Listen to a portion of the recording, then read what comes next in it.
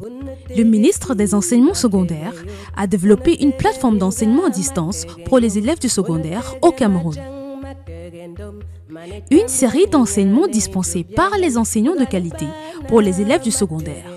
Apprendre n'a jamais été aussi simple avec l'enseignement à distance.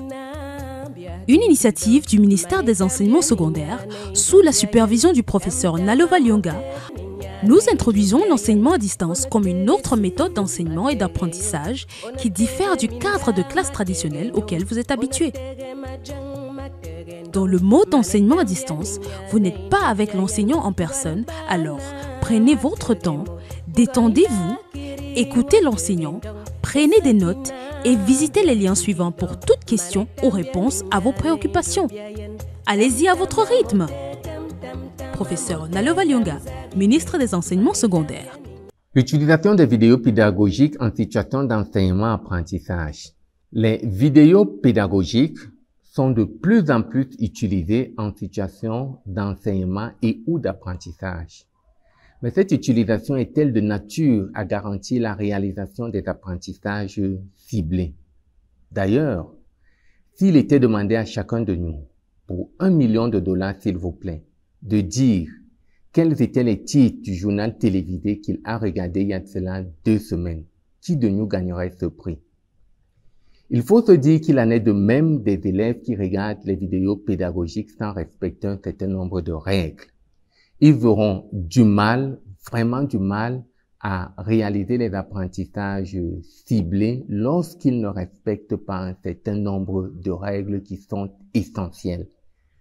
Quelles sont ces règles? Pour présenter ces règles, nous allons nous appuyer sur un cadre théorique qui est celui de l'apprentissage multimédia développé par Mayer dans sa version la plus récente parue en 2021. Dans celle-ci, en effet, Mayer présente 15 principes qui sous-tendent la production et l'utilisation du multimédia en général et des vidéos pédagogiques en particulier. Dans cette version récente également, est expliqué de façon un peu plus claire le processus d'apprentissage par le multimédia, par les vidéos pédagogiques.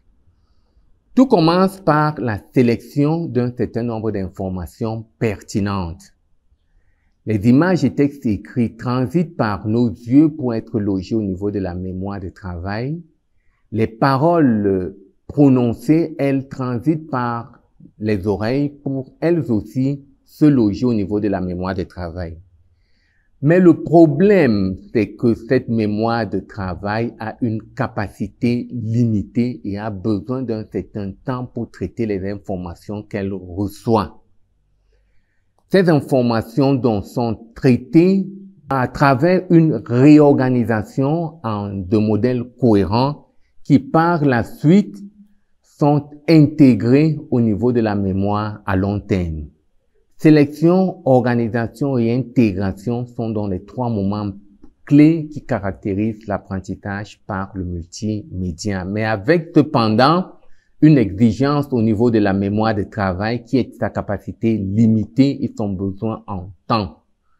Fort de cela, il nous semble évident de voir transparaître les règles qui vont donc euh, accompagner l'utilisation d'une vidéo pour pouvoir euh, réaliser des apprentissages qui résistent au temps.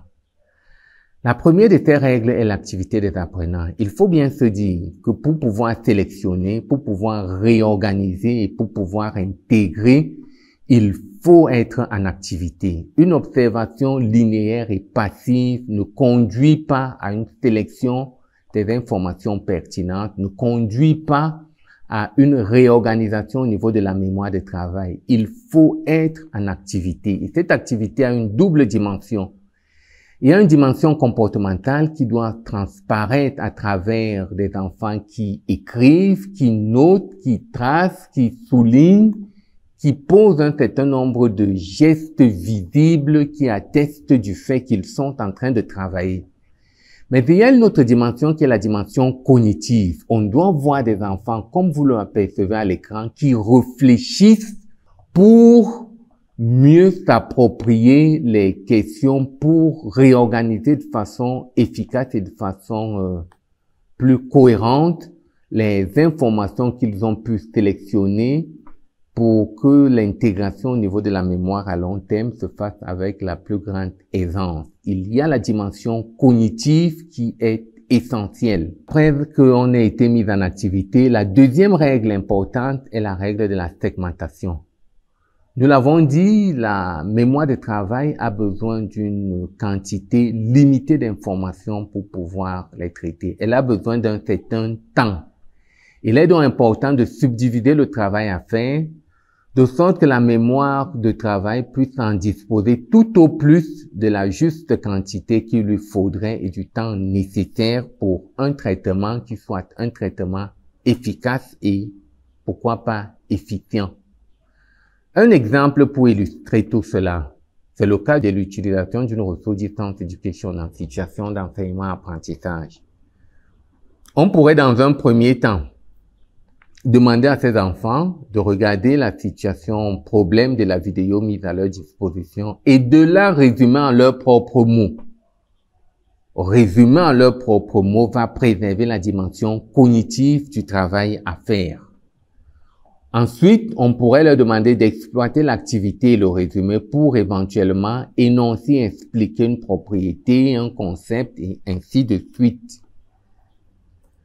La troisième règle, et non la moindre, c'est le pré-entraînement.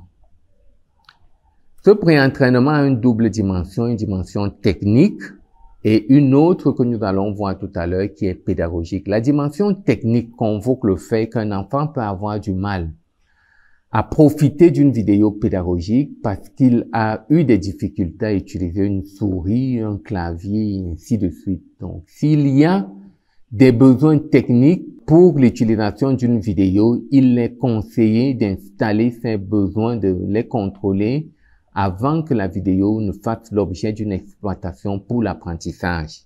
L'autre contrôle et l'autre installation pédagogique, comme je l'ai dit tantôt, concerne un certain nombre de concepts qui pourraient se retrouver dans la vidéo et pour lesquels l'enfant a besoin des éclairages pour mieux s'en approprier.